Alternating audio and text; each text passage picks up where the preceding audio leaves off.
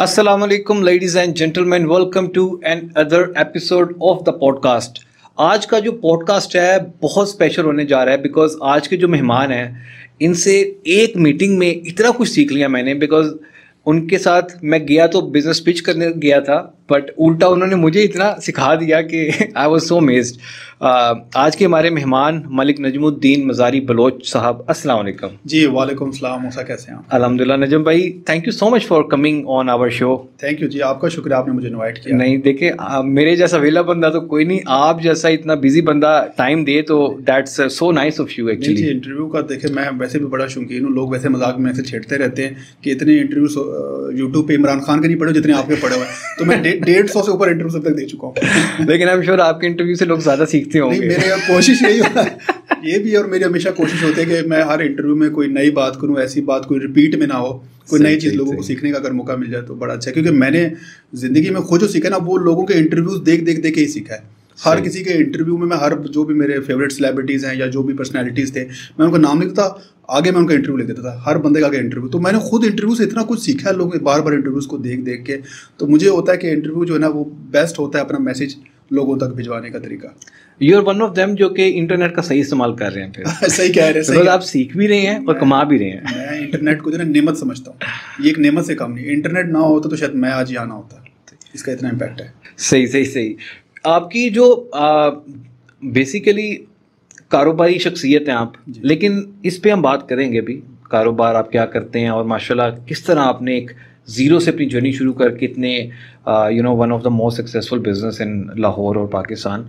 लेकिन थोड़ा सा अर्ली लाइफ में चाहेंगे हमारी मुलाकात हुई आपने बताया आप कोयटा से हैं। जी मेरा ताल्लुक बलुस्तान का जो शहर है कोयटा वहाँ से है वहीं मैं पैदा हुआ। और वहीं से मेरी स्कूलिंग हुई स्कूल में वहीं कोयटा से था। और उसके बाद कॉलेज भी जो one of the best college है तामिरनौ कॉलेज वहाँ से जो है मैंने I C S inter in computer science किया। तामिरनौ कॉलेज का मैं बताता चलूँ कि वो समझे कि आप बलुस्तान का जो है ना एच है। अच्छा। One of the best and one of the top college है वहाँ से मैं पढ़ा। उसके बाद यूनिवर्सिटी के लिए फिर मैं जो है 2008 में फिर मैं लाहौर आ गया। सही सही। And that was one thing कि जिसने मुझे आपके साथ ज़्यादा कनेक्ट किया। बिकॉज़ आई टोल्ड यू कि मेरे जी।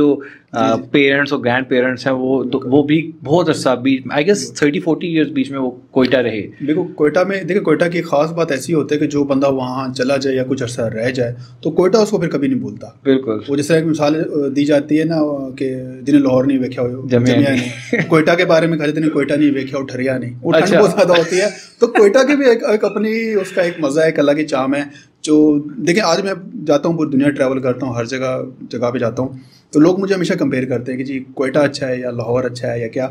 वो मैं कहा जितना मर्ज़ी आप बात कर लें जिस शहर में बंदे की ग्रूमिंग हो जहाँ बंदा पैदा हो उसको Exactly. आप कंपेयर नहीं कर सकते। तो मैं दुनिया में जहाँ भी जाता हूँ मुझे कहते हैं कि वो जगह अच्छी है कोयटा अच्छा मैं कहता हूँ हमेशा कोयटा अच्छा है। तो जो कोयटा कोयटा वाले कहते हैं जो कोयटा वाले उनको सारी ज़िंदगी कोयटा ही अच्छा लगेगा। सही। और वैसे भी जो लोग रहे हैं आपसे आपकी फैमिली के लोग रहे हैं आप उनसे पूछें तो अभी तो थोड़े से हालात डिस्टर्ब हैं। इससे पहले बड़ा पीसफुल शहर था बड़ा अम था बड़ा सुकून था।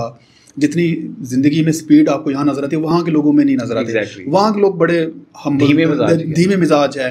जितने हमारे काम की जल्दी ये वो जल्दी ट्रैफ़िक इस तरह के मामले वहाँ पे नहीं है। तो जो अगर आप चाहते हैं कि पीसफुल हो ज़िंदगी में सुकून हो तो कोयटा बेस्ट प्लेस बिल्कुल ऐसे ही है। सही सही सही। और कोयटा से कोयटा आपने छोड़ा कब? कोयटा 2008 में मैं लाहौर आ गया था क्योंकि मैंने करना था सॉफ्टवेयर इंजीनियरिंग तो सॉफ्टवेयर इंजीनियरिंग तब पूरे बलुस्तान में कहीं नहीं हो रही थी। अच्छा। तो तो मेरी मजबूरी बन गई थी कि मेरे पास दो ऑप्शन थे या मैं कराची चला जाऊँ या मैं लाहौर आ जाऊँ।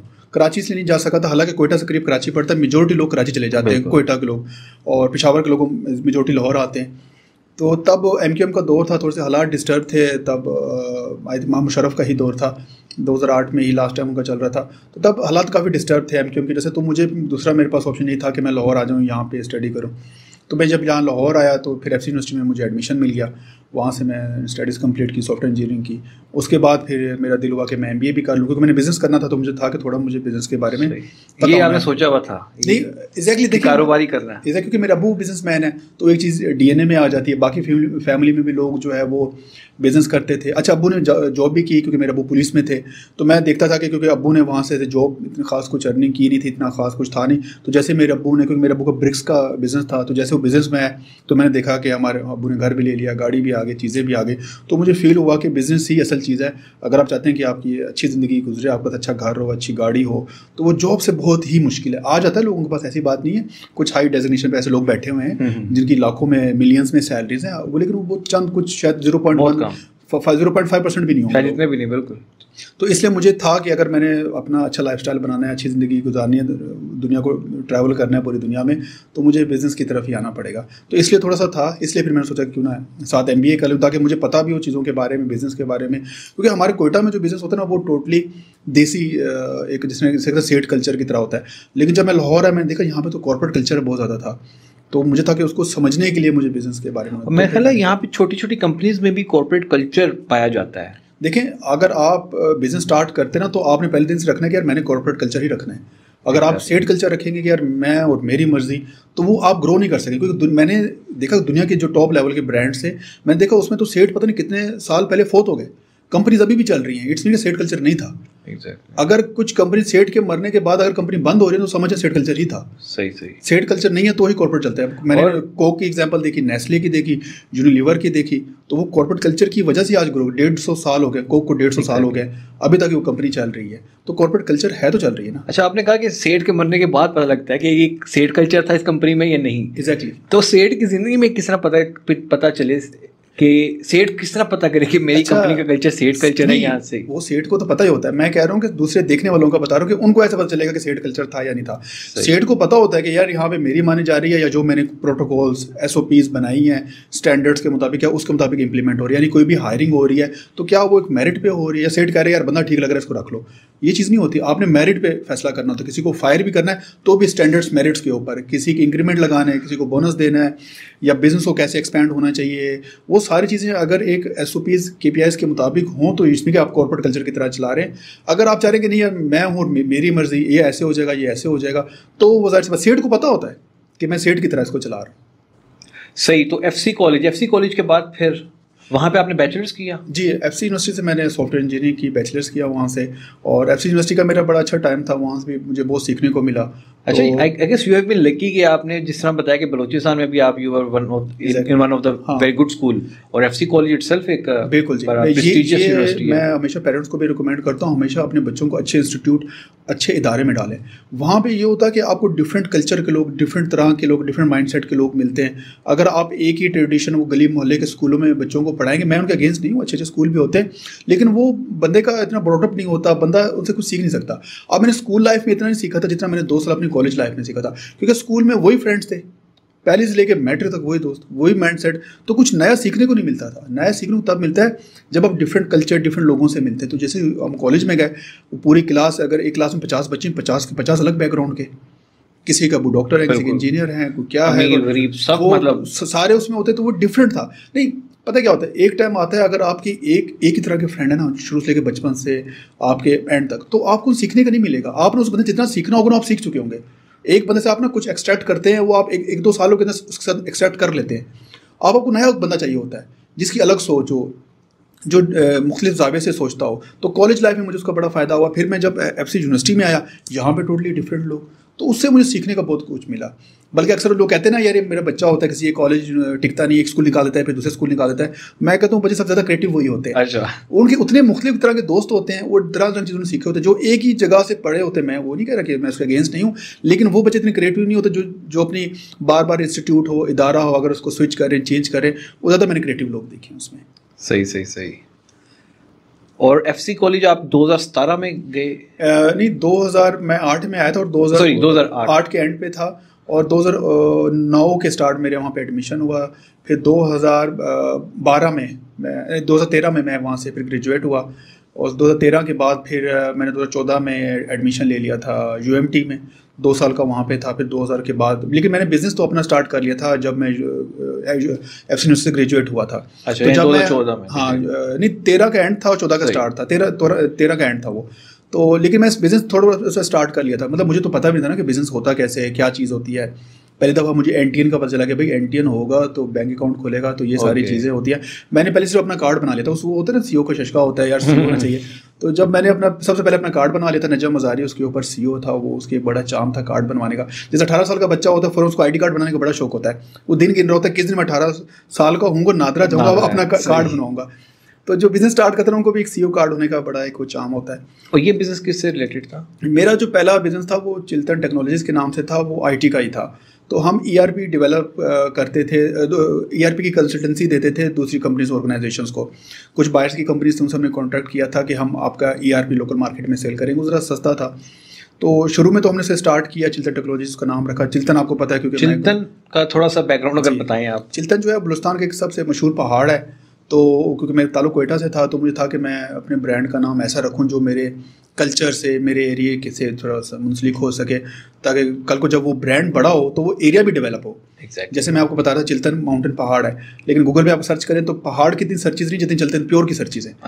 यानी गूगल में यानी हमारी सर्चेज माउंटेन से बड़ी हो गई। ऑफकोर्स जितना ब्रांड ग्रो करेगा तो लोग देखेंगे चिल्तन प्योर क्या चीज़ है। उनको फिर चिल्तन माउंटेन पता चलेगा फिर उनको चलेगा अच्छा ये तो बलोस्तान का एरिया है कोयटा का एरिया तो वो एरिया भी साथ ग्रो करते हैं। जैसे अमेजोन है वो एक जंगल का नाम है। उससे पहले अमेजोन को नहीं जानता था। जब अमेजोन हुआ तो लोग ने कहा कि अमेजोन है क्या? पता चला कि उनका एक जंगल है उसका नाम अमेजोन है। और अभी भी आई गेस जंगल का कम लोगों को पता है और अमेजोन वेबसाइट का ज़्यादा ज़्यादा पता है। तो ये सारी लेकिन उससे फिर अमेजोन जंगल को भी तो एक मार्केटिंग और वो फ्री की मार्केटिंग मिली।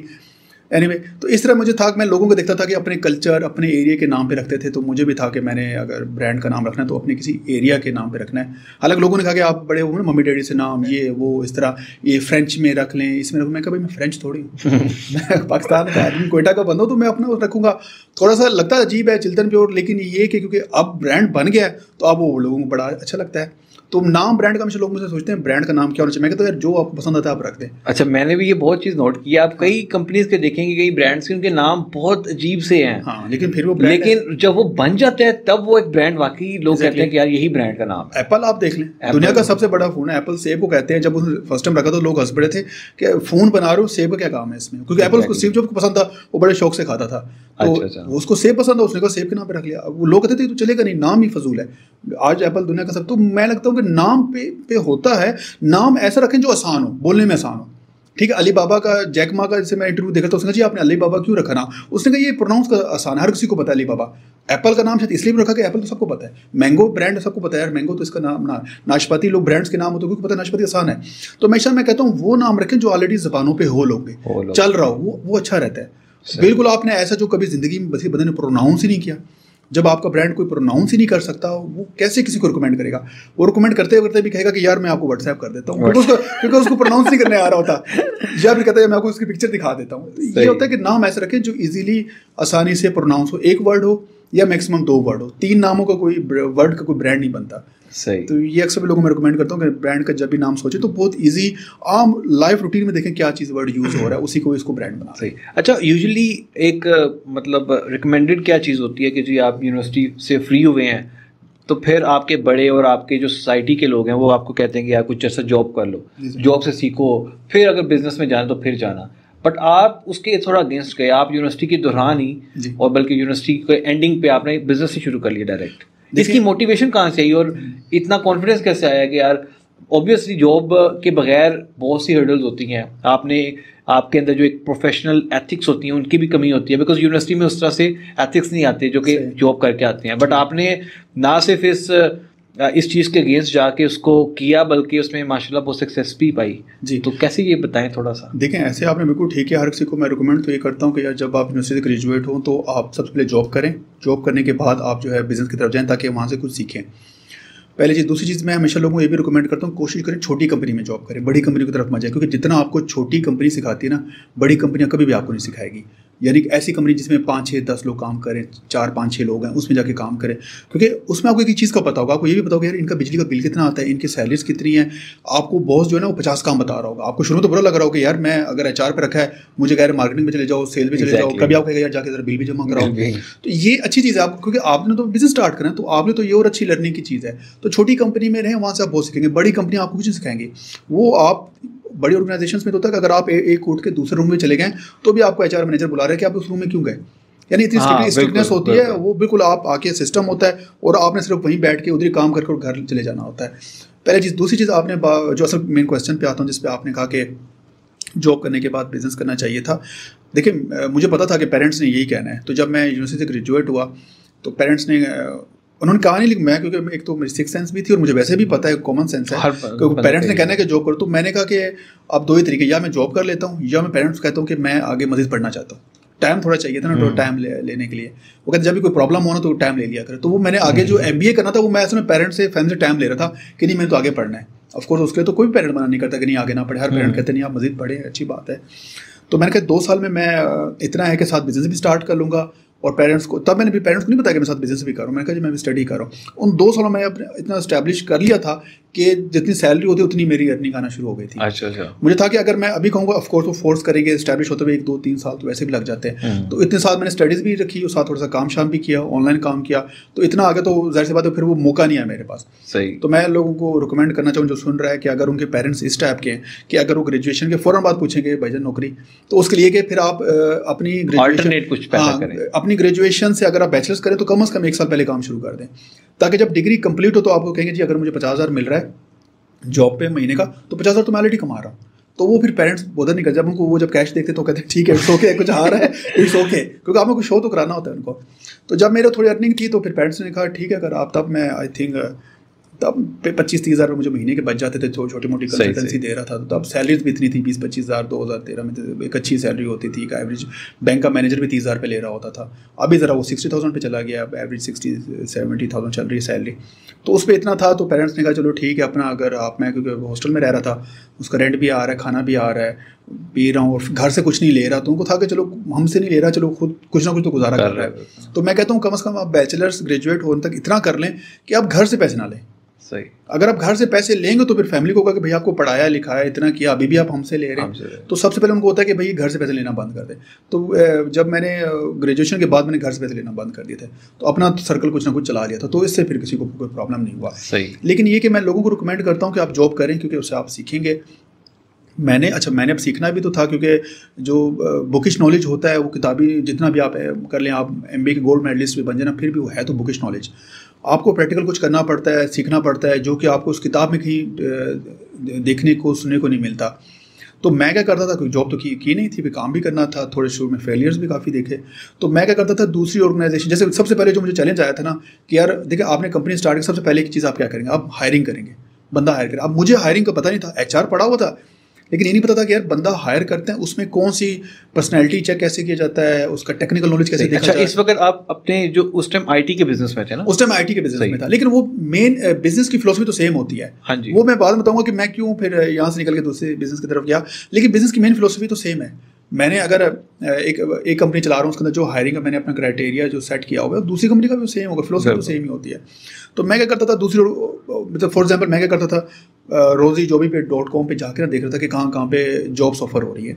मैं उन सारी जगहों पर अप्लाई कर देता था। और जाके इंटरव्यू जाके देखता था मैं देखना चाह रहा था कि इंटरव्यू में करते क्या है? ये सवाल क्या पूछते हैं? तो मैं डेली उठ के डेली तकरीबन कोई मैं दस बारह तेरह इंटरव्यूज़ डेली जाके देता था। अच्छा। मेरे पास बाइक थी वन टू फाइव उस पर मैं सारा दिन जून जुलाई का महीना था मुझे याद है। तो दो तीन महीना मैंने बस रात को आगे बैठना है और सब हर जगह पे अप्लाई करते रहना करते रहना करते रहना मेरी डिग्री हो ना कोई भी मेडिकल में अप्लाई करूँ कोई इधर करूँ मैं कहता हूँ जाके मैं इंटरव्यू तो दूँ। और देखो तो सही, सवाल क्या करते हैं? फिर मैं हायरिंग देखता था कि यार कहाँ कहाँ पर मुझे इन्होंने एक्सेप्ट कर दिया है, किस किन लोगों ने कंपनी ने मुझे रिजेक्ट कर दिया कि अगर रिजेक्ट किया तो किस क्वेश्चन पे किया ताकि जब मैं भी हायर करूँ तो मैं भी देखूँ उस बंदे के अंदर क्या वो चीज़ें थी जहाँ पे मुझे रखा गया था। किस चीज़ को कंपनी प्रेफर करते हैं, किस चीज़ को नहीं करती। अब ये चीज़ किसी किताब ने लिखा होता। वो कुछ लोग उसको अनएथिकल समझते हैं, जैसे फॉर एग्जांपल बहुत सारी ऑर्गेनाइजेशन होती हैं जो बच्चे पढ़ रहे होते हैं, उनको हायर नहीं करते। लेकिन अगर आप उसको बुक में मैंशन करते हैं चार के जी हायरिंग में आपने उसको हायर नहीं करना, उनके लिए चैलेंज बन जाता है कि क्या मतलब इस मीन कि आप एजुकेशन को नहीं सपोर्ट कर रहे। तो कुछ डाटा इन्फॉर्मेशन ऐसी होती है जो कि नहीं रखते। जैसे फॉर एग्ज़ाम्पल अक्सर कहा जाता है कि जी कि, किसी किसी बंदे के अगर घर में कोई प्रॉब्लम चल रहे हैं कोई घरेलू मसले मसाइल चल रहे हैं किसी बंदे को तो उसको आपने हायर नहीं करना। लेकिन ये बुक में नहीं लिखा लिखा जा सकता। आप बुक में रखेंगे तो लोग आपके लिए प्रॉब्लम कहते हैं यानी कि आपको तो ऐसे बंदे को सपोर्ट करना चाहिए। लेकिन एक्चुअल में ऑर्गेनाइजेशन नहीं रखती ऐसे बंदे को। तो ये चीज़ें मैंने किताब से नहीं सीखा ये मैंने प्रैक्टिकल जाके सीखा। और मैं उसको बताता था वो जैसे जैसे फॉर एग्ज़ाम्पल कोई बंदा अगर बाहर जा रहा है उस बंदे को नहीं रखा जाता। जैसे आपसे पूछते हैं कि जी आपके फ्यूचर गोल्स क्या हैं? अभी किताब नहीं लिखा होता तो मैं कहता था कि जी मैंने दो साल बाहर चले जाना था वो कहता चलो ठीक है जाना तो फिर जा। आप ऐसे बंदे को नहीं खाता ये किताबें नहीं आप सिखा सकती। तो वो मुझसे पूछता है फ्यूचर प्लान्स क्या है? मैं कहा जी मैं ऐसे कहता था टेस्ट करने के।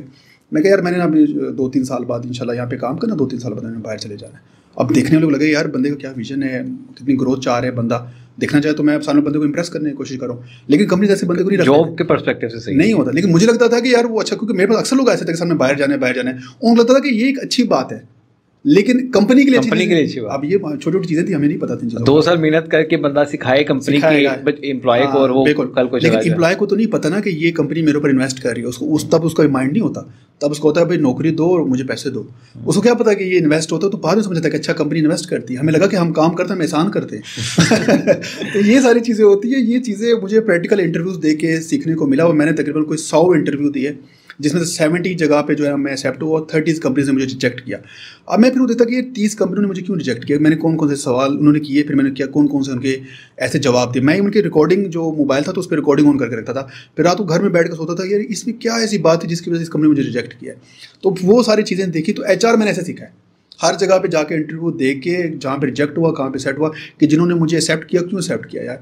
तो और जिन्होंने रिजेक्ट किया क्यों रिजेक्ट किया? तो अब मैं हायरिंग करता हूँ तो मेरे माइंड में भी वो जो सौ एच आर मैनेजर्स और बड़ी बड़ी कंपनीज़ भी थी तो उनका डाटा मेरे माइंड में तो उस हिसाब से अब हम भी वही हायरिंग करते हैं और वो उसे हम सीखते हैं। उस जो बंदा उस लेवल पे होता है, वो बंदा रिटेन करता है। जो बंदा पे हम कभी छोटा रिस्क ले लेते हैं या उसको रख के देख लेते हैं, वो रिटेन ही करता। तो मुझे फिर वो सौ इंटरव्यू अपने याद आते हैं। तो इस तरह मैंने एचआर प्रैक्टिकल करके सीखा, चीज़ों को सीखा, फिर जाके चीज़ें समझ आई हैं। सही सही सही। बड़ा यूनिक तरीका है। हाँ जी ये यूनिक लेकिन मैं मैं समझता हूँ कि बिज़नेस सीखना है आपने और चीज़ों को सीखना है लेकिन आपके पास रिसोर्सेज कम है। तो this is the best way ये बेस्ट वे कोई पैसा भी नहीं खर्चा जा रहा बल्कि सीख रहे हैं लोगों से मिलकर एक्सपोजर है ना आपको ये भी समझ आता है कि यार आपको बिठाते हैं किस तरह पानी किस तरह पिलाते हैं चाय किस तरह पिलाते हैं कितनी देर होती है क्या फॉलोअप के लिए मैसेज करते हैं हमें तो छोटी छोटी चीज़ों का नहीं पता था ना। तो ये भी चीज़ें हमने वहीं से सीखी कि कितना देर पहले बुलाना होता है आधा घंटा पहले बुलाना होता है एक घंटा पहले बुलाना होता है उसको चाय पिलानी है पानी पिलाए किस टाइप का इंटरव्यू है कितना लंबा इंटरव्यू है टेक्निकल नॉलेज पहले पिया जाता है पर्सनल क्वेश्चन अब मैं जब शुरू में हायरिंग करता था तो मैं टेक्निकल क्वेश्चन पूछता था। अब बहुत सारी ऐसी ऑर्गेनाइजेशन थी वो पर्सनल क्वेश्चन बहुत पूछते थे। वो कहते यार अगर ये बंदा मेंटली ठीक है घर पर ठीक है तो ये ये बंदा कोई भी काम होगा इससे हम करवा सिखा लेंगे इससे सिखा लेंगे। ये मैंने और बाद में मैंने बाकी सीखा मुझे उनका नाम भूल गया वो जो जिन्होंने फास्ट यूनिवर्सिटी बनाई थी और आगा खान आबदी आगा सन आबदी आगा सर। नहीं आईबीसी बैंक वाले। हाँ जी। हाँ वो उनका बीसीसीआई बीसीसीआई एग्जैक्टली हाँ जी। उनका मैं वो इंटरव्यू आर्टिकल था उनके उनके ऊपर जो किताब लिखी गई है मैं उसको बुक को पढ़ा था। उन्होंने बड़ी अच्छी की थी उनके ना हायरिंग का क्या तरीका था? वो जब भी किसी को उन्होंने सारे अपने प्रेसिडेंट जो भी था हर मुल्क में उनका बैंक था उसके जब वो प्रेसिडेंट सेलेक्ट करते थे तो उनके प्रेसिडेंट्स के सॉरी मैं इंटरव्यू देखा था जो उन्होंने बाद में उसके बुक में भी मैंशन किया हुआ था। वो कहते जब आगा साहब हमें बुलाते थे ना हमें लगता था कि पता नहीं अब पूछेंगे कोई डेबिट क्रेडिट कोई अकाउंट्स बैंक की चीज़ ये वो इस तरह के मामला पूछेंगे। तो वो कहते बैठते थे और पूछते थे कि आप क्या करते हैं? फैमिली के बारे में पूछते थे पर्सनल क्वेश्चन इस टाइप के पूछते थे। सोते किस टाइम है आप उठते किस टाइम है कहते हैं हम प्रेसिडेंट की जॉब के लिए आए हूँ और बंदा तो पूछ रहा है आप नाश्ते में क्या खाते हैं? अच्छा। तो मैं बड़ा पसंद लगा सर मैं नाश्ते में ही खाता हूँ गाड़ी है आपकी तो पूछते गाड़ी कौन सा मॉडल है आपका? तो फ्यूल कितना एवरेज कितना करी कहते हम बड़े परेशान हो जाते हैं कि यार आगा साहब इतने बड़े आदमी गाड़ी की फ्यूल एवरेज पूछ रहे हैं। तो हम कहते इतने हैं। तो सारे तो बाद में फिर हमने फिर जब हम हायर हो गए जब पर्सनल क्वेश्चन के बाद उसने कहा जी ठीक है आप मुझे बताएँ आप किस कंट्री जाना चाह रहे हैं किस बैंक की प्रेसिडेंटशिप के लिए? तो कहते मैं बड़ा हैरान हुआ खैर तब तो मुझे बात समझ नहीं आई तो उन्होंने जॉब ऑफ़र कर दी। कुछ सालों के बाद जब मेरा उनके साथ थोड़ा कंफर्ट जोन हुआ तब मैंने पूछा क्या कहा था ये आपसे जब इंटरव्यू था तब आपने मुझे इस तरह से क्वेश्चन पूछे कोई टेक्निकल तो क्वेश्चन आपने पूछा ही नहीं। कहते मैं देखता हूँ कि बंदा बंदा मेंटली ठीक है अगर किसी बंदे का घर ठीक है ना वो मेंटली पीसफुल है यार उसको मैं कुछ भी सिखाना चाहूँ वो बंदा सीख जाएगा। टेक्निकल नॉलेज होता है कहते हो तो मुझे पता है आपके पास टेक्निकल नॉलेज था तो आप यहाँ पे जॉब किया है लेकिन मैंने चेक करना होता है पर्सनल तो उसके बाद मुझे पता चला कि अगर कोई बंदा मेंटली फिट है उसका घर ठीक है उसका गाड़ी है ठीक है प्रेसिडेंट लेवल की जॉब की मैं बात कर रहा हूँ उसको मैं कुछ भी सिखाऊं कहीं भी भी सिखाऊं तो वो ठीक हो जाएगा। जिस बंदे का घर ही ठीक नहीं है घर में प्रॉब्लम्स हैं मेंटली इश्यूज़ हैं उसके यार वो कहीं कभी भी उस तरह ग्रो नहीं कर सकता। ये चीज़ें किताब में मिलती नहीं है। दुनिया की आप एचआर की किताब ढूंढ के ये चीज़ें मिलती नहीं है। वो कहते हैं जी सबसे पहले टेक्निकल क्वेश्चन करें पहले उसको डेबिट क्रेडिट पूछे। पहले अगर सेल्स का तो उससे बताएँ कि जी पेन बेच बेच के दिखाएँ मुझे। ये नहीं होता। हम्म, हम्म। पहले बंदे को जज करें बंदा ठीक है तो कुछ भी कर सकता है वो। तो ये चीज़ें मुझे सीखने को इस लोगों से उठ के बैठ के ये अब ये बात मैंने इंटरव्यू में सीखी। वो शुरू में आप कह रहा था मैं इंटरव्यू बहुत देखता हूँ लोगों के। अच्छा। तो मैं यहीं से सीखता हूँ। बुक्स में मेरे पास हैं काफ़ी बुक्स पढ़ता रहता हूँ पर ज़्यादा मुझे होता है कि मैं लोगों के जो प्रैक्टिकल है रियलिटी है उसको देखूँ उसको सुनूँ और वहीं सीखने को मिलता है। सब लोगों को रिकमेंड भी यही करूँगा कि बुक्स को ज़रूर पढ़े अच्छी है बुक में ना कई चीज़ें बंदा मैं देखिए मैंने आपको फॉर्मल होके भी बोल देते हैं। कुछ चीज़ें चैलेंज हो जाती हैं। जैसे मैंने आपको हायरिंग एक दो चीज़ें बताई पॉलिसी हाँ वो चैलेंज हो जाती हैं। ठीक है ना? कोर्ट में चैलेंज हो जाती है कि जो आपने किताब में मेंशन की थी ये तो उसके अगेंस्ट है।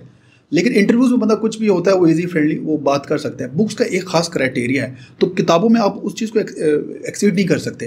जैसे आप अभी सेटेलाइट टीवी है आप हर बात सेटेलाइट टीवी पे नहीं बता सकते। लेकिन यूट्यूब पे आप हर बात करते हैं। बिल्कुल। ठीक है? ये ओपन है दोनों वीडियोस एग्जैक्टली दोनों वीडियोज़ है। तो वो भी ऐसे होता है बुक में कुछ बाउंड्रीज हैं कुछ लिमिट है। अगर आपने कोई ऐसी वैसी बात कर दी तो चैलेंज हो जाती है वो बात। तो आपके लिए प्रॉब्लम क्रिएट हो सकती है। तो बुक में लोग ना खुल के बात नहीं करते। तो एक ऑनलाइन वीडियोस ये एक ज़्यादा बेहतर ऑथेंटिक चीज़ मैं मानता हूँ इस चीज़ को बनस्बत किताबों की। अच्छा अगर हसन आपदी साहब को मैंने भी काफ़ी स्टडी किया अच्छा, है। और मुझे मतलब अब तो खैर वो है नहीं अल्लाह ने मफरत फरमाए। लेकिन उन्होंने मैंने सुना कि तकरीबन सात से आठ साल के अंदर उनका जो बैंक था टॉप फाइव में पहुँच गया था दुनिया के। दुनिया का टॉप फाइव था। उनका जो मैंने कहा ना जो सबसे उनका जो सीक्रेट सक्सेस था वो हायरिंग था। वो टॉप मैनेजमेंट की हायरिंग खुद करते थे। और ये उनका टेक्निक थी। वो देते बंदा ठीक है तो ठीक है। उनसे पूछा लोगों ने कहा सर आप इतना सक्सेसफुल है कामयाब हैं। इसकी वजह क्या उसने कहा मेरी टीम कहते टीम तो बाकियों के पास भी है। कहते नहीं मेरी टीम एक अलग ही बात है। कहते आप मिले। तो जब लोगों ने अच्छा। सर्वे किया उनकी वाकई मेंटली फिट लोग थे। कोई डिप्रेशन का मरीज़ नहीं था उसमें कोई ऐसे बंदा नहीं था जिसके प्रॉब्लम सब लोग खुश थे और उसके साथ वो खुश भी रहते थे क्योंकि वो उनकी पूरी ज़रूरत का ख्याल रखते थे। और हमेशा अगर कोई प्रॉब्लम होता था तो ये नहीं पूछता कि काम में कोई प्रॉब्लम आ गया तो हमेशा उसको बुला के कहते थे कि मुझे बताओ घर में क्या प्रॉब्लम चल रहा है? सही। वो सबसे पहले उसको घर के प्रॉब्लम ठीक करते थे। बहुत सारे ऐसे लोग थे फॉर एग्ज़ाम्पल जिसमें मैंने सुनने में आके बहुत लोगों की शादियाँ नहीं हुई हुई थी। उनको सबसे पहले शादियाँ करें कहते पहले शादी करके फिर फिर आप आए। क्योंकि आप मेंटली फ्रस्ट्रेटेड लग रहे हैं। और सबसे पहले शादी करके उन लोगों की शादियाँ करें फिर उनको लेके आए। मतलब इस लेवल पे वो बंदे को पीसफुल रखते थे। अच्छा अच्छा। कहता है उसके बाद आप काम पे आएँगे? अगर आपके कोई प्रॉब्लम चल रहा है तो मैं आपको हायर नहीं करूँगा। उनका हायरिंग क्राइटेरिया या हायरिंग जजिंग जो था वो बड़ा शानदार था। उसके बाद वो बी सी जो बैंक था वो दुनिया के टॉप में था। वो एक काइंड ऑफ़ उस टाइप का आई एम एफ़ था। बिल्कुल। इस लेवल पे था कि वो लोगों को लोन देते थे। बीसी से इतना बड़ा था पाकिस्तान तो चले ठीक है पाकिस्तान तो तब बड़ा खुशहाल था। हम ये लोन शोम आईएमएफ से निकले तो वो खुद इटसेल्फ एक आईएमएफ था। वो इस्लामिक छोटी छोटी कंट्रीज़ को लोन दिया करते थे। exactly. अपना तो सक्सेसफुल चला रहे थे। सऊदी अरब का सेकंड लार्जेस्ट अरब कंट्रीज़ में सेकेंड लार्जेस्ट बैंक बन चुका था। हाँ और उसके बाद अगर वो आज बैंक होता ना तो अरब अरब कंट्री का जितना पैसा है ना वो आज सारा हमारे पास होता। हाँ। जितना आज लेकिन उस पर काफ़ी कॉन्स्परेसीज हैं कि अमेरिका ने काफ़ी उस पर प्रेशर डाला पूरी दुनिया पे इसको बैंक को बंद करें। में देखिए प्रॉब्लम ये था जो मुझे आगा साहब का मैंने जो पढ़ा उसमें ये था उसमें कुछ टेररिस्ट ग्रुप्स थे जिनके ना उनके बैंक अकाउंट्स थे। अच्छा अच्छा। तो अब उन्होंने सारा ब्लेम कर दिया बैंक के ऊपर। अब बैंक का तो उसमें कोई कसूर नहीं है ना। मेरे पास यूफोन की सिम है कल को मेरे ऊपर कोई एक्टिविटी हो तो यूफोन को तो नहीं ब्लेम करेंगे। कि जी मजारी साहब था एक्टिविटी में इन्वॉल्व था यूफोन की सिम थी उस पर भाई यूफोन का कसूर है। तो वो कुछ ग्रुप्स का उसमें बैंक था उनके अमाउंट थी बैलेंस था उनका बैंक अकाउंट होता था जी ये पूरा बैंक ही टेररिस्ट ग्रुप चला रहा है। हम्म। वो कुछ मुजाहिदीन थे उनके बैंक अकाउंट से उनका जी हम तो बैंक अकाउंट किसको भी ओपन करके दे सकते हैं? कोई बंदा आता है फॉर्म फिल करता है हम उसको बैंक अकाउंट बना के दे देंगे। हाँ अगर आपको कोई है तो हम उनके बैंक अकाउंट्स को ब्लॉक कर देते हैं।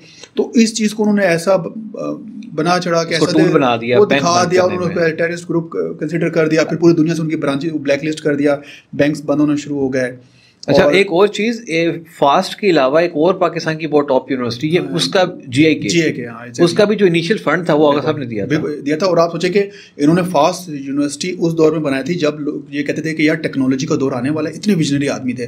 जिस टाइम ये फास्ट यूनिवर्सिटी बहुत पुरानी बनी हुई है। एटीज में। तो एटीज़ में किसी को आप कहते हैं आईटी तो परेशान हो जाता था कि ऐसा आईटी क्या है? इन्फॉर्मेशन टेक्नोलॉजी का वर्ड भी लोगों ने नहीं सुना हुआ था। तो इसने कहा आने वाला दौर आईटी का है। तो हम आईटी पे काम करेंगे। तो लोग हैरान हँसते थे जब ये फास्ट यूनिवर्सिटी बनते उसमें क्या करना है? कहते टेक्नोलॉजी आईटी यूनिवर्सिटी बनानी है। वो कहते ये क्या चीज़ होती है? लोगों को समझ ही नहीं आता था। हमारे यहाँ प्रोफेसरों को समझ नहीं आता था कि ये क्या चीज़ आगा साहब यहाँ पे लेके आ रही है अपने पैसे जाया कर रहे हैं। उनको लगता था कि ये तो आईटी है तो खिलौने खिलौने वालों को आईटी कहा करते थे कि तो ये तो खिलौने कंपनी बनाते क्योंकि रिमोट था उसमें थोड़ा बहुत टेक्नोलॉजी यूज़ होती थी। सबसे पहले ये नहीं खिलौनों में यूज़ हुई टेक्नोलॉजी क्योंकि इसे तो खिलौने बनते कि उन्होंने खिलौने की यूनिवर्सिटी बनानी है।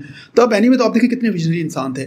और आज फास्ट का ग्रेजुएट आईटी का सबसे ज़्यादा सैलरी ले रहा है। मार्केट में सबसे मार्केट में सबसे ज़्यादा उसको रिकमेंड किया जाता है और सबसे ज़्यादा उसको वैल्यू दी जाती है कि अगर वो फास्ट का ग्रेजुएट है तो सबसे पहले उसको वेलकम किया जाता है। सही, तो ये आप देखें कितने विजनरी इंसान थे। ऐसे ही मैं एक्चुअली मैं भी फास्ट का पढ़ा हूँ ना। अच्छा तो जो हमारे डायरेक्टर थे यूनिवर्सिटी के डॉक्टर आफ्ताब मारूफ। जी जी। वो इट्स हिमसेल्फ एक बहुत अच्छे आदमी है। हाँ। उन्होंने काफ़ी स्टोरी सुनाई थी इसलिए मुझे अच्छा काफ़ी अच्छा ज़्यादा अच्छा। मैं खुद हैरान हुआ पहले बंदे जिसने आगा साहब का नाम लिया और आपको पता था। हाँ पाकिस्तान लोगों को नहीं पता उनके नहीं पता, मैं क्योंकि आप मैं जब आपने मुझे लगा कि जब मैं आगा साहब का नाम लूँगा तो आप कहेंगे मुझे नहीं पता। अभी तक मैंने जितने भी इंटरव्यूज़ दिए दो तीन इंटरव्यूज़ मैंने ज़िक्र किया तो सामने जो होस्ट था उनको पता नहीं था। क्योंकि आप वहाँ से पढ़े तो आपको पता हाँ है ज़बरदस्त अच्छा तो आईटी का बेसिकली आपने एफसी कॉलेज के बाद यूनिवर्सिटी के बाद आपने आईटी का काम शुरू किया एम का? जी इसका मैंने काम जो सबसे पहले मेरी जो कंपनी थी वो चिल्ड्रन टेक्नोलॉजीज़ के नाम से थी वो मैंने स्टार्ट की। और जैसे बताया कि ई e जो इंटरप्राइज रिसोर्स प्लानिंग सॉफ्टवेयर होते हैं वो क्योंकि माइक्रोसॉफ्ट के चल रहे थे और कल के बैंक्स वगैरह वो उनके यूज़ कर रहे थे तो वो काफ़ी कॉस्टली थे। तो जो सात नेबरिंग कंट्रीज़ हैं उनके ज़रा सॉफ्टवेयर सस्ते थे तो हमने कहा चलो इसको क्यों ना स्टार्ट करें मार्केट में सेल करना शुरू करें। तो बाहर से हम ई आर पी लेके यहाँ पर उसकी प्रॉपर इंस्टॉलेशन करा के उसको इंटीग्रेट करके हम क्या करते थे। लेकिन उसमें क्योंकि कोई मज़ा नहीं आ रहा था कोई ऐसी क्रिएटिविटी नहीं थी थी तो मेरी फ़ील्ड में इसलिए करता क्योंकि मैंने कहा यार मैंने पढ़ा यही है ना। तो फिर ऐसा ऐसा उन्हीं दिनों के आसपास मैं फिर मिला सर कासिम अली शाह साहब से। तो तब दो साल मैंने चलाई अपनी कंपनी तो मैंने सर को बताया कि सर मैं इस तरह का हूँ, ये सारा काम शाम कर रहा हूँ।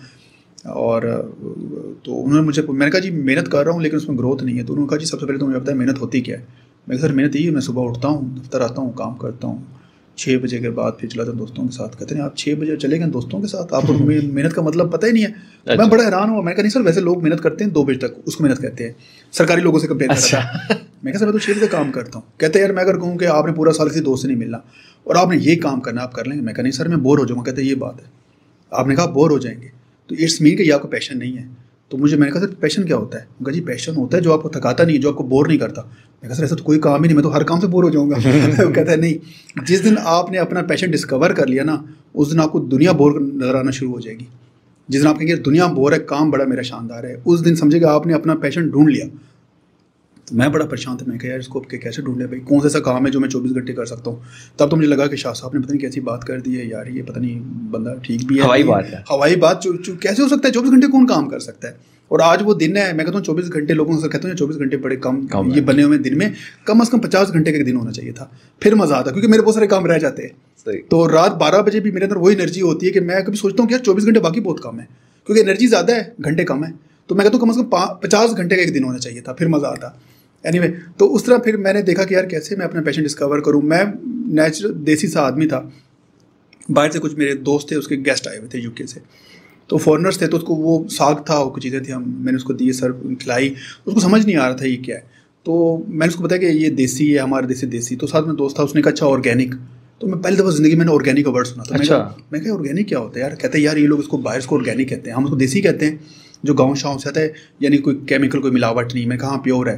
कहते हैं ये और इसको ऑर्गेनिक कहते हैं तो मैंने पहली दफ़ा ऑर्गेनिक वर्ड सुना था। वैसे ऑर्गेनिक वर्ड कोई पुराना नहीं है। 1940 में तो ये मार्केट में पहली दफ़ा आया। ऑर्गेनिक वर्ड इतना पुराना जितना पाकिस्तान पुराना है। अच्छा। हाँ ऑर्गेनिक वर्ड कोई बहुत ज़्यादा पुराना नहीं इससे पहले था। ये दूसरी जंग अजीम में ये वर्ड बना है ऑर्गेनिक वो मैं बताता हूँ कि ऑर्गेनिक हिस्ट्री क्या है। तो मैंने पहली दफ़ा दो हज़ार हाँ पंद्रह में सुना इसका वर्ड दो हज़ार पंद्रह से पहले मुझे नहीं पता था कि ऑर्गेनिक क्या होता है। तो 2015 में मुझे कहा कि ऑर्गेनिक है। मैंने फिर जाकर गूगल पे सर्च किया। मैं कहा ये तो ऑर्गेनिक है। ये तो देसी नेचुरल चीज़ें, ये मुझे पसंद है। मैंने उसको खिलाया, उसको अच्छा भी लगा। तो जब वो जा रहा था ना, मैंने कुछ शायद क्योंकि मैं अपनी जगह से मंगाता रहता शायद मैं दोस्त मोस्त यहाँ, वहाँ थे। मियाँ वाली में काफ़ी दोस्त थे, वो भी मुझे शायद भेजते रहते थे। तो मैंने कुछ शायद उसको दे दिए। मैंने कहा आप ले जाएँ। जब वो बाहर चला गया तो वहाँ से उसने मुझे मैसेज किया कि, यार, मुझे ना शायद बड़ा अच्छा था। यार, यहाँ तो मैंने सबको दिया है। और उसने मेरा नंबर वहाँ पे कुछ वायरल भी कर दिया, काफ़ी लोगों को दे दिया। तो मुझे हर दो तीन दिन के बाद कहीं ना कहीं से कॉल आ जाती थी। यूके से कि यार वो मेरे फलाने फ्रेंड ने दिया है। आप शायद हमें भिजवा सकते हैं। ऐसा शायद तो पूरे यूके में नहीं मिलता। अच्छा मैं फिर उसको जब डिस्पैच करने गया डी के थ्रू टी ने कहा जी हमारी सर्विस नहीं है। डी के दफ्तर गया उसको डिस्पैच करने। उसने कहा नहीं जी इस तरह तो हम भेजते नहीं हम दूसरे ब्रांड की चीज़ें भेजते हैं। तो मैं परेशान था मैं कहा मेरा तो ब्रांड नहीं है ना ये। मैं कहा वो मैं फिर मैं क्या करूँ? यार कोई मराबा का शायद लेकर खाली करके ये शायद डाल के दूँ या क्या करूँ? तो मैंने कहा यार फिर मैं दो से पूछा कि यार ये तो कहते हैं ब्रांड है। तो उसने कहा कोई ऐसा मसला नहीं आप स्टिकर लगा दें। वो चाह रहे हैं कि स्टिकर के साथ हो विदाउट स्टिकर कुछ नहीं आप भेज सकते फ़ूड आइटम अच्छा। ताकि कल कोई प्रॉब्लम हो तो ब्रांड के ऊपर बनेगा ना प्रॉब्लम तो इस वजह से वो भेज नहीं रहे थे। तो मैंने वैसे ही कोई चिल्ड्रन टेक्नोलॉजीज़ थी। तो आईटी कंपनीज़ जो होती हैं वो तो आपको पता है कि आईटी कंपनियाँ सॉफ्टवेयर बनाती है तो वो शायद कैसे भेज सकती है। और आपने शायद भेजना था तो मैंने शायद भेजना था तो मैं चिल्तन टेक्नोलॉजीज़ करके नीचे हनी तो नहीं लिख सकता था तो मैंने लिखा चिल्तन प्योर और नीचे हंड्रेड परसेंट प्योर हनी करके और मैंने टेस्ट वगैरह करा कॉन्सेप्ट जो था चिल्तन का वो रखा सार जो सेकंड वर्ड था एग्जैक्टली क्योंकि वो ऑलरेडी रजिस्टर्ड थी मेरी कंपनी तो मैं कहा अगर वो कुछ पूछेंगे तो मैं कहूँगा यार है तो चिल्तन ही ना ब्रांड तो मुझे बात मिला कि नहीं चिल्तन अगर टेक्नोलॉजी से एक अलग एक आइडेंटिटी है और प्योर एक अलग है। तो खैर फिर मैंने बाद में उसके लिए रजिस्टर्ड कराया और सिर्फ़ ये कंपनी बनाने का कोई इरादा नहीं था। सिर्फ़ था कि मैं शायद बाहर भेज सकूँ ताकि मेरी बेजती ना हो जाए। वो कहेंगे, आप शायद भी नहीं भेज सकते। आप, आपको डी ही नहीं कराने आता। आपको इतनी अथॉरिटी नहीं है। तो खैर एनी मैंने सारा काम किया, फिर मैंने बाहर भिजवाया। फिर क्योंकि, मैंने जैसे बताया क्योंकि बहुत ज़्यादा थे वो चालीस पचास के करीब, वो शायद बन गए थे। तो चार पाँच तो मैंने बाहर भिजवा दिया। बाकी जो रह गए थे, वो फिर मैंने सोशल मीडिया पे लगा दिए। तो उस पर मुझे वहाँ कमेंट्स आना शुरू हो गया कि जी ये आप बेच रहे हैं कितने का है क्या है कितने के प्राइस है। तो विद इन मतलब कुछ घंटों के अंदर वो सारे निकल गए। मतलब ये नहीं कि मैंने बेच दिया लेकिन लोगों के ऑर्डर्स आ गए थे। ऑर्डर्स आ गए। तो मैं तो हंस भी रहा था हैरान परेशान भी था कि यार ये मतलब क्या ये वाकई सीरियस है? ये लोग मुझे मज़ाक तो नहीं कर रहे। पता नहीं खरीदेंगे नहीं खरीदेंगे। जब तक वो डिलीवर नहीं हुए लोगों ने पैसे नहीं दिए तब तक मुझे यकीन नहीं आ रहा था। अच्छा। जब जेब में पैसे आए तब आके तो रियल में काम ये कर तो रहा है। एक बिज़नेस है पूरा। बिज़नेस है। अच्छा बिज़नेस शायद ये नहीं था कि हाँ, शायद का बिज़नेस था। ऑफ़ कोर्स वो तो एक गैप था मुझे समझ आया दूसरा सोशल मीडिया की पावर का मुझे सबसे पहले उस दिन पता चला। वो मैं कहा सोशल मीडिया हम तो इसे मज़ाक शोगल दोस्तों के लिए ऐसे चिट चैट के लिए बनाया होता है। ये एज ए बिज़नेस के तौर पे भी देता है रेवेन्यू क्योंकि तब ना लोगों का टेक्नोलॉजी के ऊपर इतना भरोसा नहीं था। सोशल मीडिया को तो लोग टोटली फेक समझते थे। कहते हैं ये धोखे की दुनिया है ये सब झूठ है जितना भी हो रहा है सब ये फेक होता है। सोशल मीडिया को फेक समझ जाता था। तो मैं लोग उसको इतना सीरियस नहीं लेते थे। हालाँकि सोशल मीडिया एक बहुत सीरियस लेने की चीज़ है, लेकिन लोग उसको सीरियस नहीं लेते। तब की बात करो, आप तो बहुत सीरियस लेते हैं। तो तब मुझे था कि इस पर बिज़नेस भी हो सकता है इसमें कारोबार भी हो सकता है, कि मैं पिक्चर लगाऊँगा और मुझे पिक्चर की बेस पे कैसे ऑर्डर आ सकता है? जब तक मुझे था कि लोग जब तक देखेंगे नहीं फील नहीं करेंगे टेस्ट नहीं करेंगे, लोग कैसे मंगा सकते हैं आपसे? तब मैं बता कि एक ट्रस्ट का भी फैक्टर होता है। जो लोग जानते हैं, मुझे उसको पता है कि अरे बंदा ठीक है तो वो आपसे कुछ भी खरीद सकते हैं। खैर, इस तरह फिर मैंने और मजीद प्रोडक्ट ऐड किए, करते गए, करते करते गए। आज आठ, सात, आठ सौ के करीब हमारे प्रोडक्ट्स हो चुके हैं और दो, ढाई, तीन सौ के प्रोडक्ट जो आर एन डी के अंदर है तो इस साल के एंड तक इंशाल्लाह एक हज़ार से ऊपर प्रोडक्ट बन जाएँगे और हम अपने डोमेन में वी आर नंबर वन अलहमदिल्ला फिर कुछ अर्से बाद मैं शाह साहब से मिला, मैं शाह साहब, मुझे लग रहा है कि मुझे इस काम में मज़ा आ रहा है। उसने कहा, ठीक है तो आप कंटिन्यू करें, अगर आपको ये काम थका नहीं रहा। और उन्होंने चार चीज़ों का बताया कि देखें कोई भी आप काम स्टार्ट कर, जो असल में जैप जैपनीज़ फ़िलोसफी है, इक्की की, उसके बारे में, इक्की की, उसके बारे में आपने पढ़ा होगा तो वही चार चीज़ें मुझे उन्होंने बताया। कि यार आप कोई भी काम करेंगे ना वो चाहते हैं कि आप उसमें कामयाबी हो तो ये चार चीज़ें उसके अंदर होनी चाहिए। नंबर वन तो आपका पैशन होना बहुत ही ज़रूरी है। नंबर वन के अलावा बाकी नंबर थ्री भी फारे हैं। ये बिज़नेस से रिलेटेड है या कोई भी काम? ये देखिए ये है बिज़नेस से रिलेटेड लेकिन पर्सनल लाइफ में आप इसको ऐड कर नहीं सकते तो ये सिर्फ़ बिज़नेस के लिए अच्छा कि आप कोई भी काम कर रहे हैं। ये सिर्फ़ बिज़नेस के लिए नहीं जॉब वालों के लिए भी प्रोफेशनल लाइफ का है। कि प्रोफेशनल लाइफ में आपको ये चार चीज़ें ज़रूर देखनी चाहिए। बिज़नेस के लिए तो हंड्रेड परसेंट रिकमेंडेड है। नंबर वन तो है आपका पैशन उसके बगैर तो आगे तीन भी काम नहीं करेंगे। पैशन होना बहुत ज़रूरी है। सेकेंड थिंग उन्होंने मुझे बताया कि यार आपको उस चीज़ का एक्सपर्ट बनना पड़ेगा। आप एक्सपर्ट नहीं होंगे एक नया प्लेयर आएगा अपनी एक्सपर्टीज़ लेके और आपको स्वीप अप कर देगा आउट कर देगा वहाँ से। तो आपने उस चीज़ का एक्सपर्ट भी बनना है। ये दो चीज़ें तो बहुत ही ज़रूरी हैं। तीसरी चीज़ जो होती है कि जो आपका बिज़नेस है काम है उससे आपको कोई रेवेन्यू आना चाहिए। पैसा अच्छा आना चाहिए उससे। सही। ये नहीं कि सिर्फ़ आपका किचन चले आपको रेवेन्यू अच्छा आना चाहिए। मैं एंड पे बताऊँगा कि रेवेन्यू की ज़रूरी होता है। और चौथी चीज़ उसने कहा कि अगर वो हो तो बहुत ही अच्छी बात है तो सक्सेस गारंटीड हो जाती है। वो ये हो जाती है कि हमारी सोसाइटी को से कितना फ़ायदा है। सही। आप जो काम कर रहे हैं फॉर एग्ज़ाम्पल अगर मैं ऑर्गेनिक बना रहा हूँ तो क्या वाकई मैं लोगों को हेल्थ दे रहा हूँ? कि बीमार तो नहीं कर रहा लोगों को मैं? तो सोसाइटी को भी उसका इम्पैक्ट होना चाहिए। तो ये चार चीज़ें जब मैंने अपने काम में देखी मैं क्योंकि मुझे पैशन था मैं कर रहा था थक नहीं रहा था उस चीज़ से चौबीस चौबीस घंटे भी मैं काम कर रहा होता था। तो मैं कहा पैशन तो मेरा इसमें है ठीक है? एक्सपर्ट नहीं था तो फिर मैंने एक्सपर्ट बनने की कोशिश की कि यार मेरे पास अगर फॉर एग्ज़ाम्पल मैं ऑर्गेनिक पे अगर कहीं बैठ के बात करूँ तो मुझसे ज़्यादा नॉलेज पाकिस्तान में किसी के पास नहीं होना चाहिए। अभी अलहमदिल्ला मैंने अपनी किताब भी लिखी है हंड्रेड ऑयल्स के ऊपर। अच्छा। पाकिस्तान में आज तक तेल के ऊपर किताब नहीं लिखी गई। तो हंड्रेड मेरिकल ऑयल्स के ऊपर मेरी किताब का नाम है वो इंशाल्लाह विद इन मंथ जो है अभी पब्लिश हो रही है विद इन मंथ मार्केट में आ जाएगी। तो वो, उस पर मैंने बहुत स्टडी की। जितना मुझे ऑयल के बारे में मुझे पता है, पाकिस्तान के बारे में मुझे लगता है कि किसी को इतना पता होगा। मतलब किताब नहीं छपी, किसी ने लिखा नहीं, किसी प्रोफेसर डॉक्टर इंजीनियर या कोई भी इस फ़ील्ड के बंदे ने आज तक किसी तेल को भी किताब नहीं लिखी। कुछ बुक्स अवेलेबल हैं मार्केट में, लेकिन वो ट्रांसलेटेड है।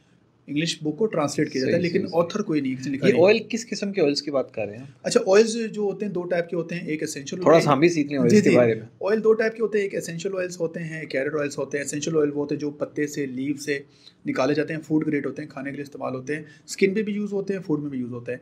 और कैरेट ऑयल्स वो होते हैं जो उसके बीज से निकाले जाते हैं। Carrot carrier carrier oil carrier oil एक होता है एसेंशियल ऑयल एक होता है carrier oil carrier essential oil पत्तों से निकाला जाता है जो कि स्टीम डिस्टिलेशन एक प्रोसीजर होता है एक प्लांट होता है उसके थ्रू निकाला जाता है।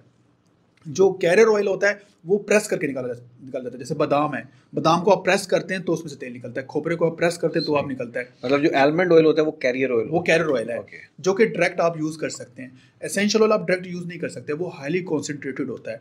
वो अमूमन यूज़ करते हैं परफ्यूम इंडस्ट्री जिस टी ट्री है वो भी बहुत कॉन्सेंट्रेटेड होता है। हाईली कॉन्सेंट्रेटेड होता है क्योंकि पत्ते से निकाला जाता है स्टीम के थ्रू आप अगर डायरेक्ट स्किन पर लगाएँ तो कुछ ना कुछ स्किन से इचिंग बर्निंग होती है। उसको दूसरे के साथ डायलूट करके इस्तेमाल करना पड़ता है। यानी कि आलमंड ऑयल है, उसके अंदर दो तीन सिर्फ़ ड्रॉप्स डाले जाते हैं। इतना वो कॉन्सेंट्रेटेड होता है। ये परफ्यूम इंडस्ट्री बहुत ज़्यादा यूज़ करती है। जितने भी नेचुरल परफ्यूम्स आते हैं, वो यही एरोमेटिक ऑयल्स होते हैं। और इसमें खुशबू होती है ख़ास किस्म की, क्योंकि पत्तों में जो खुशबू होती है, उसको आपने एक्सट्रैक्ट करना होता है। तो इस टाइप के जो ऑयल्स थे, उनके बारे में वापस आते हैं उस बात के ऊपर कि इस तरह मैंने इन चीज़ों को स्टडी किया, देखा, फिर मैं उसका एक्सपर्ट भी बना। और तीसरा, जैसे कि उन्होंने मुझे बात की कि रेवेन्यू आना बहुत ज़रूरी है। बहुत से लोग हैं जैसे फॉर एग्ज़ाम्पल मैंने ज़्यादातर देखे मीडिया इंडस्ट्री के अंदर लोगों को पैशन भी एक्सपर्ट भी लेकिन वो बेचारों के पास कोई खास अर्निंग होती नहीं उनकी। और लाइफ के एंड पे आके वो डिप्रेशन में खुदा ना कभी सुसाइड कर रहे हैं कभी क्या कर रहे हैं हम्म। क्योंकि रेवेन्यू नहीं है ना। पैशन था एक्सपर्ट भी थे नाम भी था। जब काम बंदा काम मिलना बंद हुआ तो सड़क पे आ गए। रेवेन्यू होना बहुत ज़रूरी है पैसा आना ज़रूर ज़रूरी है। आप जो भी काम कर रहे हैं यार आप ऐसा करें कि यार मुझे इससे प्रॉफिट भी आना चाहिए। सिर्फ़ किचन ही चलना चाहिए मेरे पास आगे सेविंग भी होनी चाहिए ताकि एक एज पे जाके अगर वो काम नहीं चलता खुदा ना खासे कोई प्रॉब्लम्स क्रिएट होती हैं तो मेरे पास सर्वाइवल के लिए कुछ पैसा होना वो ज़रूरी है। और चौथी बात उन्होंने कहा कि अगर सोसाइटी को उसका फ़ायदा हो रहा है तो ये हंड्रेड परसेंट आपकी जो सक्सेस है वो ग्रेटेड हो जाती है। तो मैं हमेशा लोगों को कहता हूँ कि जब भी अपना काम शुरू करें ये चार चीज़ों के आपने हमेशा माइंड में फ्रंट पे रख के देखना है और ये पूरी ऐसी कोई बात नहीं है प्रॉपर ये रिसर्च हुई है। अच्छा। जापान का एक गाँव है वहाँ पे मेजोरिटी लोग बिज़नेस कम्युनिटी के हैं और वो बड़ा एक खुशहाल गाँव है। तो जाके उन्होंने देखा अच्छा वहाँ वो अपने शहर को भी गाँव कह रहे होते हैं अमूमन वो एक शहर ही है। तो उसको भी वो गाँव कह रहे होते हैं। तो उनका वो जो गाँव है एरिया है जब उन्होंने रिसर्च की देखी तो हर बंदे के काम में चार चीज़ें थी। एक तो सोसाइटी को भी इसका फ़ायदा होता था। कोई भी ऐसा काम कर रहे हैं। आप टेबल चेयर बनने से भी सोसाइटी को फ़ायदा होता है। ये नहीं आप कहें अगर मैं चेयर बना रहा हूँ सोसाइटी का फ़ायदा? भाई लोग बैठ रहे हैं। कंफर्ट है लोगों के लिए। आप इतनी कंफर्टेबल चेयर बना रहे हैं सोसाइटी को फ़ायदा है। अच्छा पैसे दे रही है और अच्छी बात है। और आप उस चेयर को बनाने के भी एक्सपर्ट है और आपको शौक भी है काम करने का तो सक्सेस आपकी गारंटेड हो जाती है। अच्छा ये तो उन्होंने बात कर दी। मैंने जितने भी सक्सेसफुल लोग थे फिर लोगों से मिला जैसे मैंने बताया कि मेरा सी ग्रुप भी है जिसमें 200 से ऊपर के करीब जो है सी है तो उन लोगों में मैं चार चीज़ें हमेशा नोट करता हूँ। उनका काम हमेशा माशरे को भी फ़ायदा दे रहा होता है और वो एक्सपर्ट भी होते हैं और उनको पैशन भी होता है और उनको रेवेन्यू भी अच्छा आ रहा होता है। तो हर बिज़नेस मैन मैंने खुशहाल देखा जिनके काम में ये चार चीज़ें होती है। सही सही। मैं ख्याल ये जो आपने ये जो एक कॉन्सेप्ट दिया है ना जी। ये हमारे जो देखने वाले हैं जो ये सीख गया जी। वो उसका बिज़नेस तो सेट है। एग्जैक्टली exactly, देखें थोड़ा सा हमारे माशरे में ये बड़ा आ, मसला मैं देख रहा हूँ बहुत से लोग कहते हैं जी मुझे इसका शौक है मैं इसलिए कर रहा हूँ। तो मैं लोग कहता हूँ सिर्फ़ शौक होना ज़रूरी नहीं है। हाँ जी। बहुत से लोग हैं मतलब मैं कैसे तो कहना तो जी सिंगर हैं गाने गाते हैं जी क्यों कर रहे हैं? अपना जेब में पैसा है ना कुछ है। बस जी मुझे गाने का शौक। है। भाई ठीक है लेकिन उसको कमर्शलाइज करें। और बहुत से सिंगर हैं जो करोड़ों पे कमा रहे हैं। आप बस दोस्तों बैठ के गिटार बजा रहे हैं तो अच्छा एक एक और चीज़ आपने जो चार चीज़ें कही इनमें लास्ट पॉइंट था कि सोसाइटी को फ़ायदा मिले। Exactly. बहुत से लोग हैं जो कहते हैं हमने सोसाइटी के लिए काम करना है। ठीक है। लेकिन वो भी एक टाइम तक होते हैं उसके बाद वो फेल हो जाते हैं बिकॉज़ वो रेवेन्यू पे काम नहीं कर रहे होते हैं। Exactly. देखिए रेवेन्यू पे जब आप काम करेंगे तभी सोसाइटी को देंगे ना। आज आपके पास दस रुपये और आप कहते हैं मैं दस रुपये सोसाइटी को दे देना है। भाई आप अभी ना दें। आप हाँ पहले दो सौ करोड़ जमा कर लें उसमें से सौ करोड़ दे दीजिएगा सोसाइटी हाँ को एक टाइम आता है डोनेशन का देने का भी एक टाइम होता है जब आपका बिज़नेस पूरा फ्लरिश कर रहा हो एक्टिव हो रहा होता है और आप ग्रोथ की तरफ़ जा रहे होते हैं तभी आप सोसाइटी को देखते हैं। बहुत से लोग मैंने ऐसे देखा वो बहुत अच्छी बात है ये इसको देख लीजिएगा ये कंट्रोवर्शियल हो जाए कि बहुत लोग ऐसे हो जाते हैं कि वो सोसाइटी के बारे में सोचते हैं सोसाइटी में इतना इन हो जाते हैं कि अपना बिज़नेस डबो बैठते हैं। बिल्कुल। बाद में ना इधर के रहते ना उधर के रहते हैं। बहुत सी बहुत सी एग्जांपल्स बहुत सी एग्जांपल्स मैं यहाँ कोट नहीं करना चाह रहा तो मैंने उनको देखा कि वो नहीं करते दो चार बेशक। नहीं प्रॉब्लम हो जाएगा। वो मुझे नोटिस कोर्ट से नोटिस आ जाना है। नहीं तो नहीं। मैं ये मैंने बहुत से लोगों को देखा वो सोसाइटी में इतना इन्वॉल्व हो सका हमें लोगों की खिदमत करनी है ये करना है अपना काम शाम छोड़ के जंगलों में चले गए हैं। और बाद में फिर दो तीन साल बाद वहाँ से पता चल रहा है उन्होंने वहाँ पर जाकर खुदकुशी कर ली। भाई ये कैसा सुकून है? ये किस टाइप का सुकून? आपको सुकून मिला ही नहीं लोगों की हेल्प करके। पहले अपने आप की मदद करें फिर लोगों की मदद exactly. करें अपना काम भी चलाएँ। अपने काम का ठप मत करें उसका सत्यानाश ना करें। आप कुछ परसेंट सेलेक्ट कर लें। लोग हंड्रेड परसेंट डोनेशन दे देते हैं, पीछे पट्टा बैठ जाता है उनका। भाई, आप कुछ परसेंट एक परसेंट दो परसेंट तीन परसेंट आप कहेंगे यार मुझे जितना प्रॉफिट आएगा, मैं उसका करके इतना डोनेशन दे दूँगा या इतना सोसाइटी के लिए, फ़ायदे के लिए काम करूँगा। मैं तो बल्कि, या कोई आज इंटरव्यू कंट्रोवर्शियल होने वाला है, मैं तो डोनेशन वोनेशन के भी थोड़े से अगेंस्ट हूँ। लोगों को मैं कहता हूँ कि डोनेशन ऐसे होती है कि आप लोगों को, हम क्या करते हैं, हम लोगों को ना मछली पकड़ के खिला रहे हैं। मैं कहता हूँ मछली पकड़ के मत खिलाओ लोगों को। लोगों को मछली पकड़ना सिखाओ। Exactly exactly. लोगों को स्किल सिखाओ। जितना अगर आप दस करोड़ डोनेशन करें दस करोड़ आप लोगों को स्किल सिखाएँ। वो भी डोनेशन ही है। डायरेक्ट किसी के हाथ में देना यार गलत है। मैं exactly. मैं इसके बहुत मैं भी मैं भी आपने किसी का अगर फॉर एग्ज़ाम्पल हेल्प करें किसी को लाख रुपए देना है तो बोले यार मैं इस लाख रुपए का आपका फलाने इंस्टीट्यूट से आपको कोर्स करवा देता हूँ। आपको प्रोग्रामिंग सिखा देता हूँ आपको फोटोग्राफी सिखा देता हूँ आपको कोई मार्केटिंग स्किल्स दिखा सकता हूँ आपको सोशल मीडिया मार्केटिंग सिखा सकता हूँ कुछ भी। मैं आपको वो एक करोड़ रुपये आपको डोनेशन के तौर पर दूँगा लेकिन एज ए स्किल्स के तौर पर दूँगा। तो मछली पकड़ के मत खिलाएँ लोगों को। आप चाहते हैं क्योंकि लोग सारी ज़िंदगी आपके मोहताज रहेंगे क्योंकि उनको मछली पकड़ने आई नहीं। आप लोगों को मछली पकड़ना सिखाएँ। बोले जी मछली ऐसे पकड़ी जाएगी खुद ही पकड़ें खुद ही खाएँ। ये सबसे बेहतरीन काम है। तो डायरेक्ट किसी के हाथ में दे देना। मैं थोड़ा आई डोंट नो शायद किसी को सुनने वाले को बुरा भी लग रहा होगा। मैं तो उसके नहीं नहीं मुझे तो बिल्कुल नहीं लगा मुझे अच्छा लगा। हाँ मैं मैं भी सोच रहा हूँ क्योंकि मैं डोनेशन में करता हूँ हर मंथ लेकिन मैं डोनेशन ऐसा डायरेक्ट नहीं करता किसको पैसे दे दिए। मैं किसी ना किसी बंदों को कहता हूँ कि यार आप ये कोर्स कर लें या कुछ ये फॉर एग्ज़ाम्पल कोई काम करना चाह रहा है। इवन कोई अगर दस पंद्रह बीस चालीस हज़ार रुपये की रेडी लगाना चाह रहा है तो मेरे पास मैं कुछ रेडी लेके दे दूँगा। लेकिन चालीस हज़ार उसके हाथ में नहीं दूँगा। सही सही सही। कि क्या उसको काम भी आता है चीज़ें भी आती है इस तरह की हेल्प करनी चाहिए। अगर आप उसकी हेल्प करेंगे तो वो सदका जारिया वो चलता रहेगा वो दूसरे को सिखाएगा फिर तीसरे को सिखाएगा। या एक बंदे को काम सिखा दो सिखा जी मैं एक काम आपको फ्री में सिखाऊँगा। आपने काम दस मजीद और लोगों को सिखाना सही। तो वो कंटिन्यू रहता है।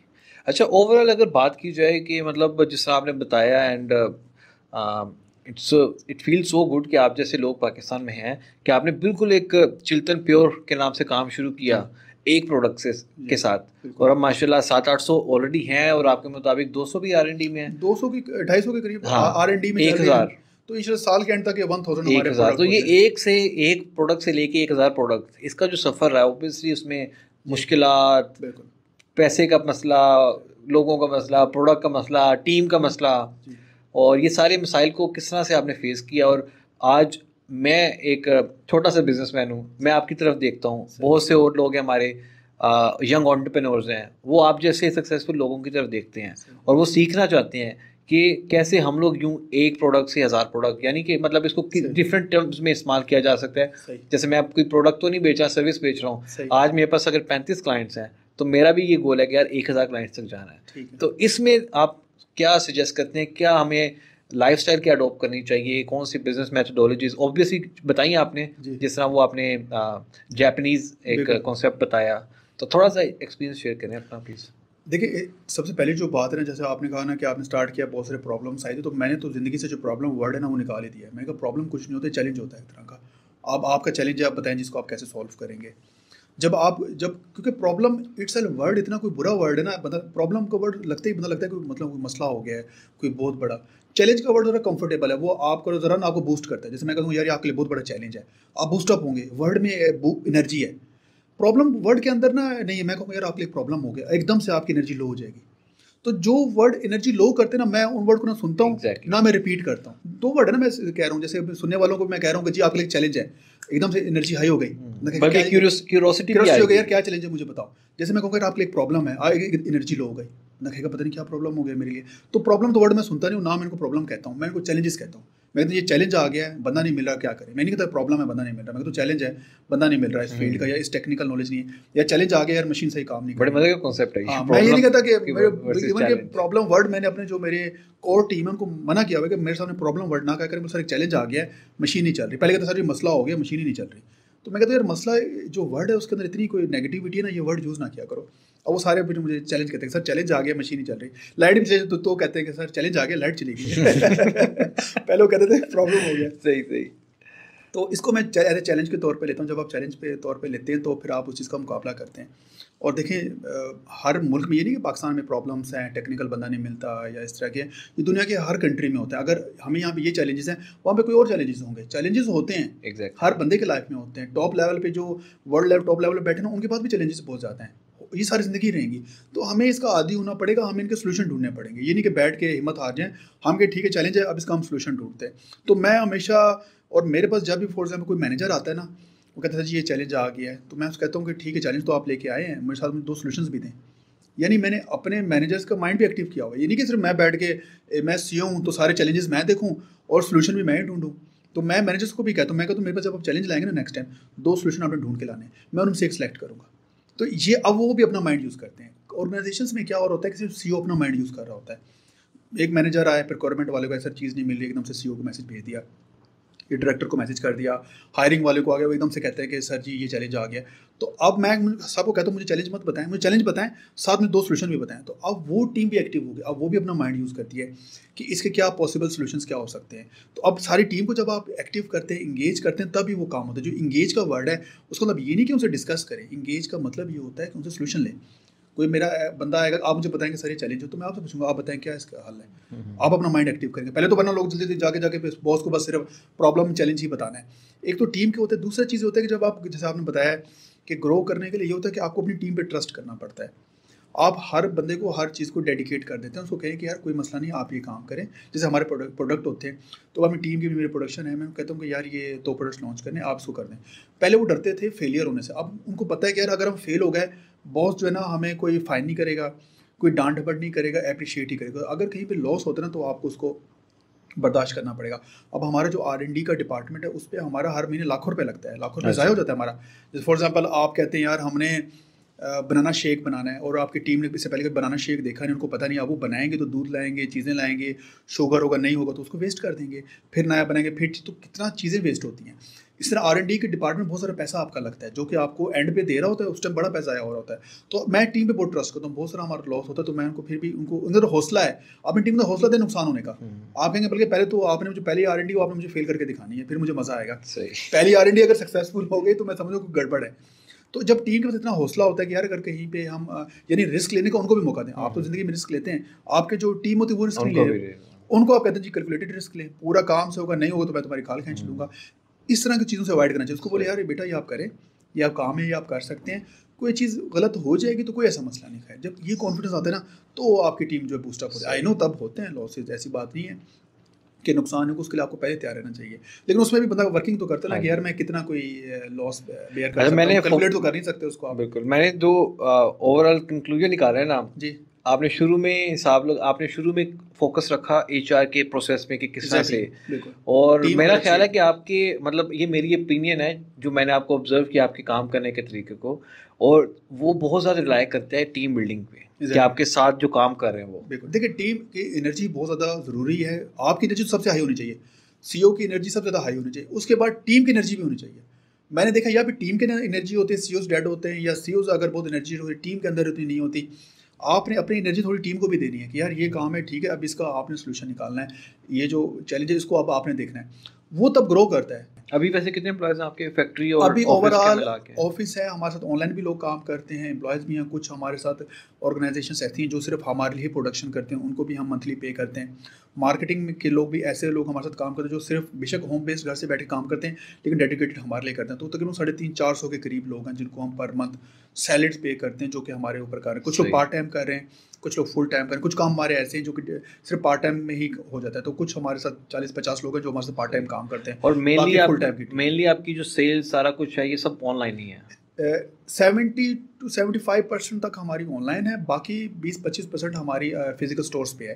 पहले हमारी हंड्रेड परसेंट ऑनलाइन थी। अब ऐसा ऐसा हम रिटेल पे जा रहे हैं। शुरू में हमने रिटेल पे काम इसलिए नहीं किया क्योंकि कोविड आ गया। दो हज़ार उन्नीस में सही मेरी कंपनी जो ना प्रॉपर वर्किंग में प्रॉफिटेबल में आई थी उससे पहले तो ब्रेक इवन था लॉस था ऐसी चीज़ें चल रही थी। 2019 में फिर कोविड आ गया जब उसको हम प्रॉपर करने लगे थे। तब मैं क्योंकि ऑनलाइन मेरी एक्सपर्टीज थी तो मैंने कहा चलो यार एक दो साल जब तक कोविड रहता है हम उसको ऑनलाइन नहीं करेंगे हम रिटेल पे नहीं जाएँगे। तो जैसे ही अब मुझे 2022 में समझ आना शुरू हुआ कि अब कोविड नहीं है अब दोबारा उसकी नई कोई वेव नहीं कोई वेव नहीं आएगी मुझे था कि फिर ना चीज़ें बंद होना शुरू हो जाए। तो अब फिर हम रिटेल पे जाना शुरू हम थोड़ा ले, लेट आए मार्केट में रिटेल में लेकिन अलहमदिल्ला हम काफ़ी स्पीड में जा रहे हैं। सही तो बिज़नेस के बारे में हो लाइफ के बारे में हो बहुत सी चीज़ें हमने आज सीखी and I am so thankful to you कि आपने इतना लंबा टाइम निकाला हमारे लिए आज। आई एम श्योर कि हमारे जो यूट्यूब uh, और फेसबुक के ऊपर देखने वाले हैं सुनने वाले हैं आप सबको बहुत सीखने को मिला होगा बड़ा इन्जॉय किया होगा आपने नजम साहब की गुफ्तु को। तो आज के लिए सिर्फ़ इतना। बाकी मिलते हैं इंशाल्लाह नेक्स्ट वीक एक नए गेस्ट के साथ। तब तक के लिए अल्लाह हाफिज़।